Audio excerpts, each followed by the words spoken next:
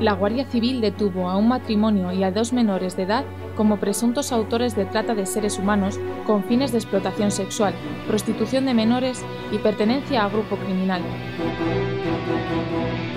La menor de 15 años a la que prostituían era ofrecida a través de Internet y había sido obligada a mantener relaciones sexuales con los miembros del grupo criminal,